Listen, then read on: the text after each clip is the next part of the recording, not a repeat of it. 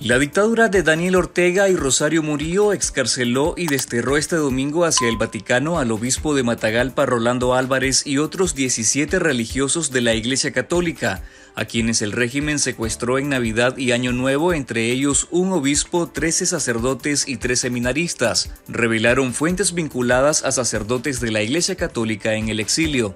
Monseñor Rolando Álvarez tenía 11 meses de permanecer recluido en celdas de máxima seguridad en la cárcel modelo, después que fue condenado por la dictadura a 26 años y 4 meses de prisión por los delitos fabricados de traición a la patria.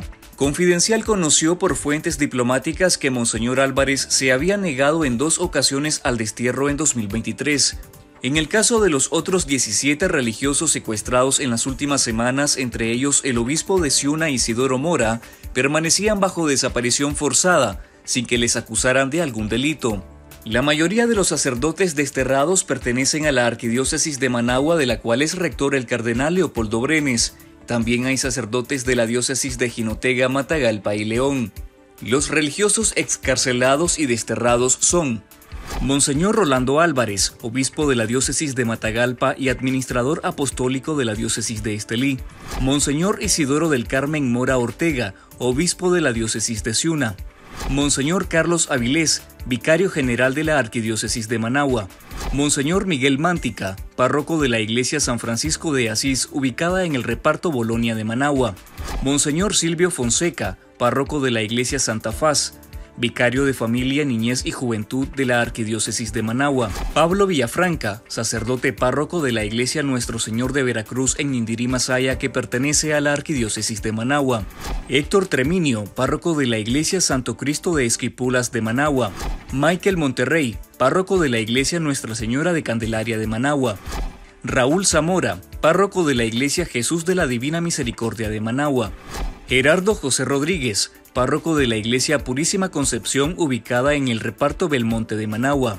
Ismael Serrano, párroco de la Iglesia San Miguel Arcángel de Managua. Jader Hernández, párroco de la Iglesia Madre del Divino Pastor en Nejapa, Managua. Fernando Calero, párroco de la Iglesia Nuestra Señora de Fátima en Rancho Grande de la Diócesis de Matagalpa.